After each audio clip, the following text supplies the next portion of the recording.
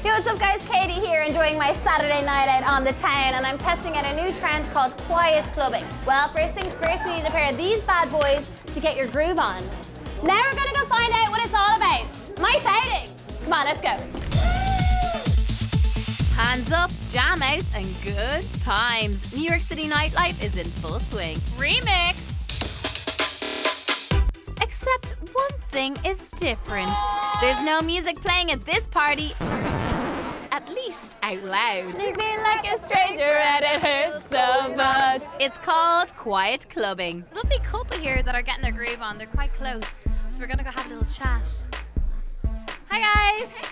Sorry to interrupt whatever's going on here. It looks very romantic. Woo! Oh look, they're giggling like schoolgirls. So here's how it works. Partiers receive a set of headphones at the door, and each headset can be tuned to one of three different stations. Have you guys been to a quiet clubbing event before? No. The second I put on the headphones, I basically have no inhibitions. Would you agree with that, or is that just me gone real weird? The whole shower mentality. Inhibitions are at an all time low as people dance to their very own beat. But what's it like to be single and ready to mingle? Have you talked to any guys here tonight yet? Not yet, but the night is still young. Do you feel like it'll be easier to talk to guys here? I think so because you can always take the headphones off. It's easier to hear other people.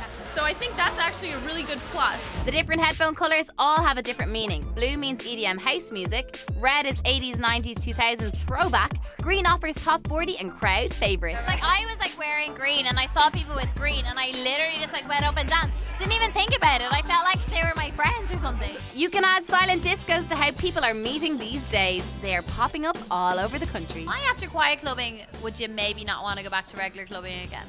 Ah, there's so many reasons. So the first one is at the end of the night, your voice isn't killing you, right? So you're not screaming like, "What's your name?" I'm screaming anyway, like no matter what, even with headphones on, I'm gonna be screaming even louder. I'm just gonna warn you. What an amazing night. If you want an evening that's unique, unifying, and just plain fun, make sure you check out your next quiet clubbing event. Till then, my work here is done.